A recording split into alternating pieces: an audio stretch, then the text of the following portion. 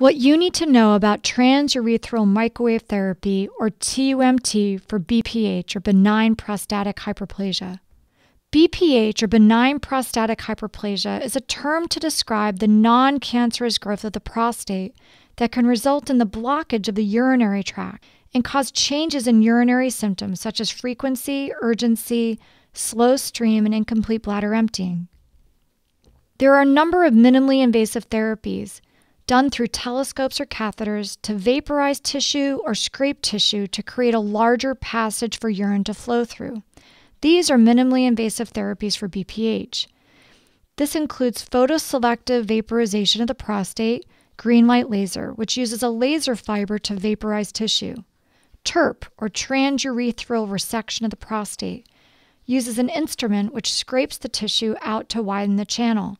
TUMT, transurethral microwave thermotherapy, uses a catheter to heat the prostate, causing it to involute over time. Urinary symptoms not adequately controlled with medicine or as an alternative to long term medication use is an indication for this procedure.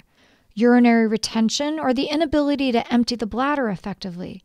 Recurrent urinary tract infections or recurrent blood in the urine due to an enlarged prostate. TUMT treats BPH by applying microwave energy to the prostate that precisely heats diseased areas while simultaneously circulating cool fluid in the catheter and protecting the pain sensitive urethral tissue. This procedure minimizes patient discomfort and risk of thermal damage to the urethra by maintaining the urethral temperature at less than or equal to 40 degrees Celsius. This allows the treatment to be performed in the physician's office without the need of general anesthesia.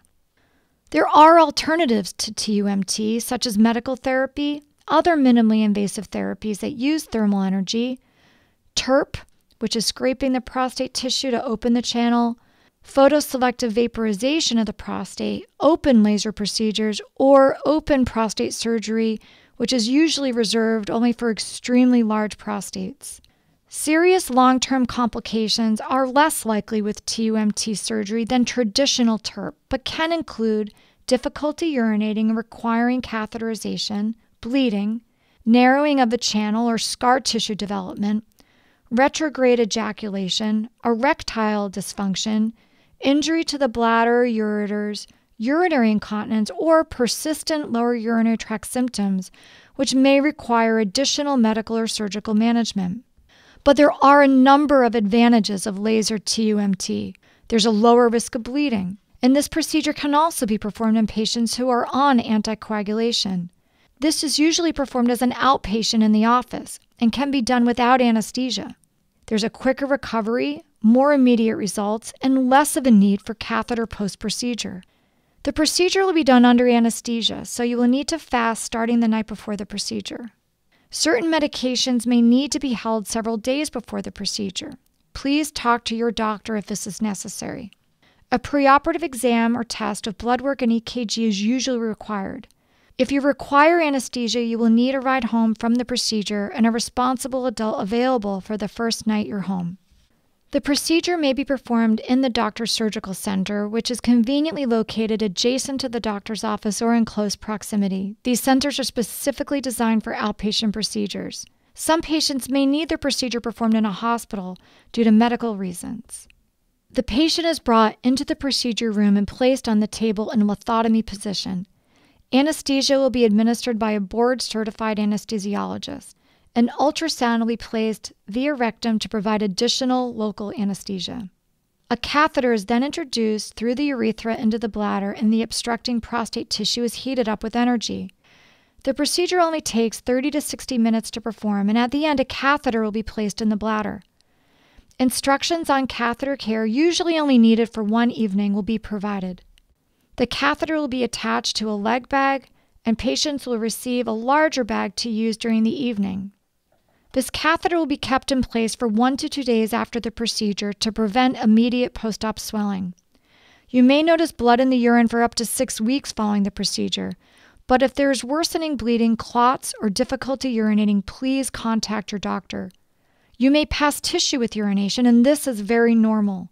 Irritating urinary symptoms such as the constant need to urinate, intermittent burning, and more frequent voiding can occur and last for several weeks to months depending on the healing process and the size of the prostate.